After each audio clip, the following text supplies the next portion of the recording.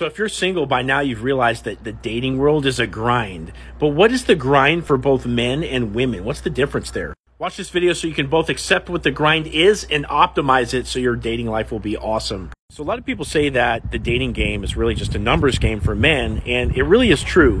But just because people accept that it's a numbers game doesn't mean that they actually take the time to get thick skin and go out there and routinely, routinely holler at girls and shoot their shot. What I'm talking about is day after day after day, not internalizing the rejections, just letting them roll off the shoulder and accessing the positive memories and the positive experiences for fuel to keep going every single day, talking to new girls every single day. That is the grind for men. Because if you do not take massive action in your dating life, you will not understand what your options are like women do. So let's talk about what the grind is for women. Women are beautiful creatures. God bless them. I love them. Okay.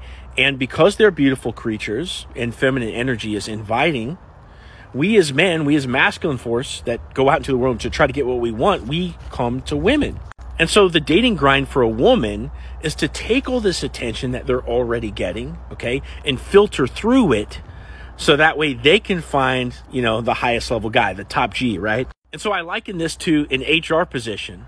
Being a woman is like being the HR director for your dating life. You've got all these different applicants, and it's a lot of work to try to filter through them to find which guy doesn't just look the best, but also which guy is actually, you know, he's going to have the character to be trustworthy. Which guy is actually going to go out into the world and go through a bunch of hard, you know, flaming hoops and whatnot to bring home the bacon.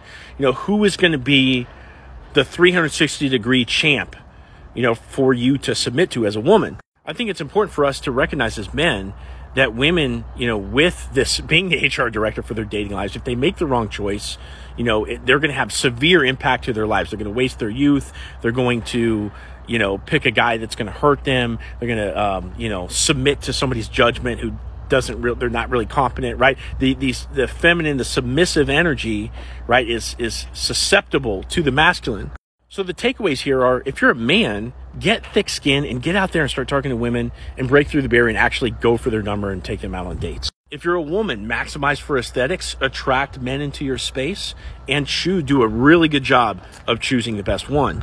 Drop your thoughts in the comments if you like this video, share it with a friend, and check out my other videos up here.